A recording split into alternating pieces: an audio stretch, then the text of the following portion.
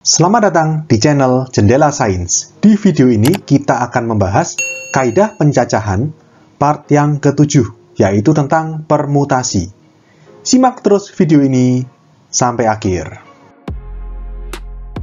Pada kaidah pencacahan itu banyak sekali aturan atau istilah-istilahnya. Ya, kalian sudah belajar ada aturan penjumlahan, ada aturan perkalian, lalu ada metode pengisian tempat atau filling slot dan di sini kita akan bahas permutasi dan kombinasi. Apa itu dan apa bedanya? Gini. Permutasi merupakan cara menyusun sekumpulan objek dengan memperhatikan urutannya.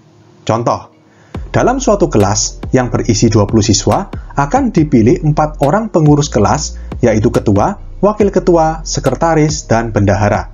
Jika tidak ada siswa yang rangkap jabatan, tentukan banyaknya cara yang terjadi dalam pemilihan pengurus kelas tersebut. Ya, soal ini kalau kalian masih ingat, ini pernah kita bahas waktu di metode pengisian tempat. Tapi di sini nanti soal yang sama ini kita akan kerjakan pakai cara permutasi. Nah, maksudnya di sini dengan memperhatikan urutannya tuh gimana? Gini, ini kan di suatu kelas terdapat 20 siswa. Dipilih empat orang pengurus kelas. Jabatannya ada yang jadi ketua, wakil ketua, sekretaris, sama bendahara. Nah, misalkan gini, yang kepilih itu empat orang itu si A, si B, si C, si D. Oke, A misalkan jadi ketua, B jadi wakil, C jadi sekretaris, D jadi bendahara. Kalau misalkan dibalik, B yang jadi ketua, A yang jadi wakil, D jadi sekretaris, C jadi bendahara, itu sudah merupakan susunan atau cara yang berbeda. Ya, karena tadi ketuanya A sekarang jadi B. Ya, makanya di sini cara menyusun sekumpulan objek dengan memperhatikan urutannya. Ya, jadi di sini urutannya maksudnya ini yang pertama ketua, kedua wakil, ketiga sekretaris, keempat bendahara. Jadi urutan A, B, C, D itu tidak sama dengan misalkan tadi B, A, D, C. Ini urutan yang berbeda. Karena misalkan kesepakatan kita yang pertama ini ketua, yang kedua wakil, yang ketiga sekretaris, yang keempat bendahara. Ini kan ketuanya A, wakilnya B, sekretarisnya C, bendaharanya D. Yang ini ketuanya B, wakilnya A, sekretarisnya D, bendaharanya C, sudah merupakan susunan yang berbeda. Oke, nah kalau kombinasi itu gini, cara menyusun sekumpulan objek tanpa memperhatikan urutannya. Jadi misalkan, dalam suatu kelas yang berisi 20 siswa akan dipilih satu tim, berisi tiga orang untuk mengikuti lomba matematika. Jika setiap siswa memiliki kesempatan yang sama untuk dipilih, tentukan banyaknya cara yang terjadi. Nah, kalau gini, kan dari 20 siswa yang ada di satu kelas, dipilih tiga orang untuk mewakili kelas itu mengikuti lomba matematika. Kalian mau panggil si A, si B, si C, atau dibalik C dulu baru A baru B, mau B dulu baru A baru C, atau apa pun, ini sama aja. Ya pada intinya tiga orang ini, si A, si B, si C ini yang berangkat untuk mengikuti lomba matematika.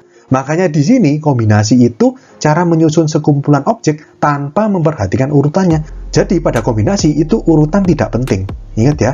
Jadi perbedaan permutasi dan kombinasi itu pada urutannya. Kalau permutasi itu memperhatikan urutan, jadi urutan itu sesuatu yang penting. Kalau kombinasi itu tidak memperhatikan urutan. Jadi urutan itu nggak penting. A B C C A B B A C apalagi A C B C B A dan seterusnya itu sama aja sama aja intinya si A, si B, si C yang berangkat mengikuti lomba matematika. Oke, paham ya? Ini adalah perbedaan permutasi dan kombinasi. Tapi di part ini kita bahas permutasi dulu. Berikutnya kita ke jenis-jenis permutasi. Jadi permutasi itu ada empat jenis ya. Yang pertama adalah permutasi R unsur dari N unsur berbeda. Yang kedua, permutasi N unsur dari N unsur berbeda. Yang ketiga, permutasi dengan unsur-unsur yang sama. Dan yang keempat, permutasi siklis. Di part kali ini kita bahas permutasi jenis pertama sama yang kedua terlebih dahulu. Permutasi yang pertama adalah permutasi R unsur dari N unsur berbeda.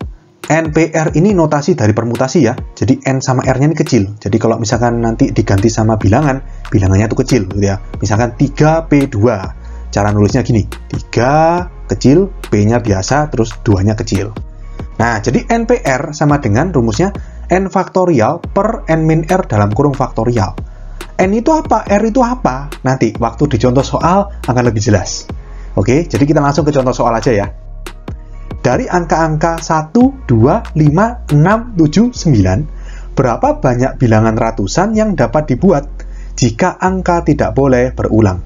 Nah, kalau kalian mendapatkan soal seperti ini, ingat ya, biasanya kan kita pakai metode pengisian tempat atau filling slots. Ya, kalian sudah belajar di part-part sebelumnya. Tapi di sini saya akan coba nanti dicocokkan. Kita kerjakan pakai metode filling slot, lalu kita juga kerjakan pakai permutasi. Oke, kalau pakai filling slot, ini kan kita mau membuat bilangan ratusan. Oke, dari angka-angka ini.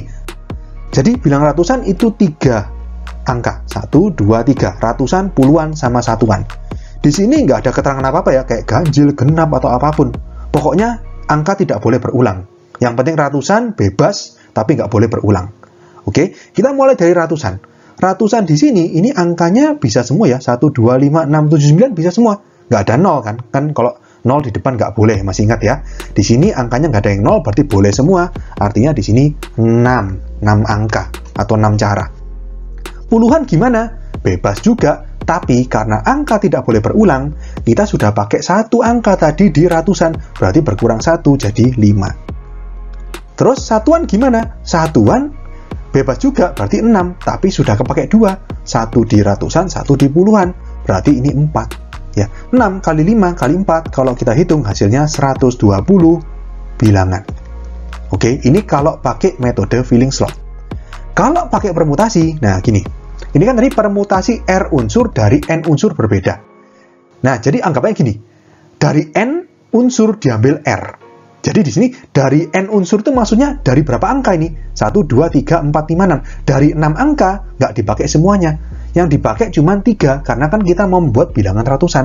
Ya berarti n-nya ini sama dengan 6 jadi n itu yang tersedia r itu yang dibutuhkan. Dari n yang tersedia itu diambil berapa?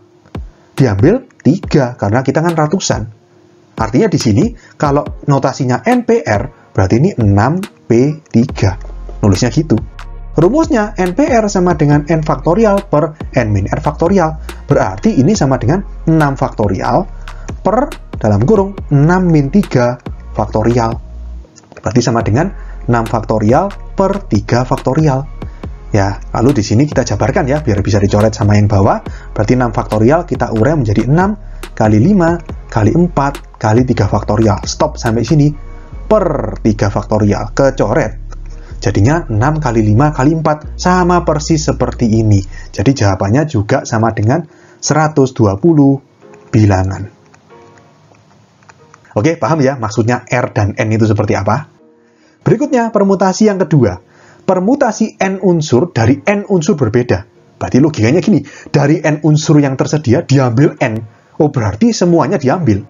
Kalau tadi kan dari 6 ini cuma diambil 3 karena dari enam angka yang tersedia, kita disuruh membuat bilangan ratusan. Bilangan ratusan hanya terdiri dari tiga angka. Yang tersedia enam angka, berarti tidak semua angka diambil. Itu kan ya. Kalau ini n unsur dari n unsur berbeda, berarti ibaratnya semuanya diambil.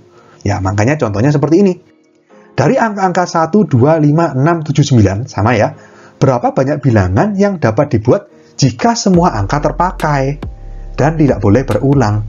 Ngerti ya? Kalau semua angka terpakai, berarti ini bilangannya 6 digit ya, atau 6 angka, berarti ratusan ribu. Jadi ini angka pertama, angka kedua, angka ketiga, angka keempat, angka kelima, angka keenam. Dan di sini nggak ada keterangan apa-apa, bebas, tapi nggak boleh berulang. Berarti angka yang pertama ini ada 6 cara. Lalu angka yang kedua, bebas juga, 6 tapi berkurang satu kan, karena sudah pakai di angka pertama, nggak boleh berulang, jadi 5. Terus, berarti berkurang terus, jadi 4, terus ini 3, ini dua, ini satu. Kalau kalian hitung, ini sama dengan 720. Atau kita lihat, 6 kali 5 kali 4 kali 3 kali 2 kali 1 nya apa sih? Ya 6 faktorial kan? Ngerti ya? Jadi di sini, NPN sama dengan N faktorial. Jadi kalau kita kerjakan pakai permutasi, dari 6 diambil 6 atau 6P6 itu sama dengan 6 faktorial. Ngerti ya? Jadi ini N-nya 6, diambil semuanya. Oke? Nah, terus rumus NPN sama dengan N faktorial ini pada dasarnya juga merupakan pengembangan dari ini. Hanya di sini R-nya sama dengan N. Coba lihat di sini ya, ini NPR, ini NPN. Jadi R-nya diganti sama N. Kalau R diganti sama N, maka R di ruas kanan ini diganti sama N juga. Berarti rumus ini akan menjadi n faktorial per n min n faktorial. Kan R-nya diganti sama n. Berarti ini sama dengan n faktorial per n min n itu 0 ya, 0 faktorial. 0 faktorial berapa? Ingat, 1 ya. Jadi sama dengan n faktorial. Makanya di sini rumusnya NPN sama dengan N faktorial. Jadi asalnya ya merupakan pengembangan dari rumus ini, hanya R-nya diganti sama N. Tapi gini tips dari saya, kalau misalkan soal yang angka-angka gini terus disuruh membentuk bilangan, tetap lebih enak itu pakai filling slots, karena kan logikanya lebih dapat gitu ya. Jadi ini hanya saya terangkan kalau permutasi itu juga bisa digunakan untuk menyelesaikan soal-soal yang angka-angka seperti ini. Ya, tapi gini, di soal-soal yang kita disuruh membuat bilangan dari angka-angka, itu kan nggak sesederhana ini, kalau kalian ingat. Kadang syaratnya banyak, kadang syaratnya ganjil, lalu ada lebih dari 2500, angka 2 pada satuan, terus angkanya boleh berulang. Nah, kalau seperti itu, kita nggak bisa pakai rumus permutasi, harus pakai filling slot. Ya, rumus permutasi ini hanya bisa dilakukan kalau misalkan angkanya itu bebas, terus tidak boleh berulang. Ya, tapi kalau ada syarat-syarat yang macam-macam itu, kita nggak bisa pakai permutasi. Harus pakai metode pengisian tempat. Gitu ya. Oke, sekian untuk video kali ini. Untuk melihat playlist lengkap dari bab ini, bisa kalian klik thumbnail yang ada di sebelah kanan atas ini. Jika ada pertanyaan, saran, maupun kritik, bisa kalian tulis di kolom komentar. Semoga bermanfaat dan sampai jumpa di video selanjutnya.